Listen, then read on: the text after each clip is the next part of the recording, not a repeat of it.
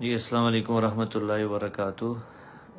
ایک تھوڑا پریشانی والی خبر تھی، الحمدللہ، اب نہیں ہے۔ آپ سے شیئر کرنا تھا، آپ سے عرض کرنا تھا کہ آپ سب جیسا کہ دیکھ رہے ہیں سوشل میڈیا پہ، کس وقت والد محترم مولانا طارق جمیل صاحب کینیڈا میں موجود ہیں۔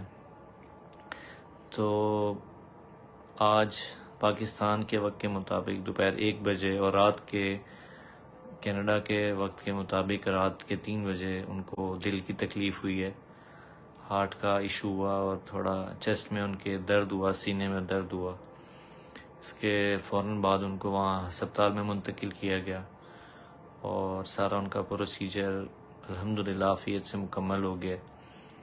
تو اس وقت الحمدللہ وہ بالکل ٹھیک ہیں، سٹیبل ہیں، لیکن ابھی تک ہاسپٹل میں تو آپ حضرات کی خدمت میں آنے کا صرف مقصد یہ ہے کہ آپ دعا کریں، چونکہ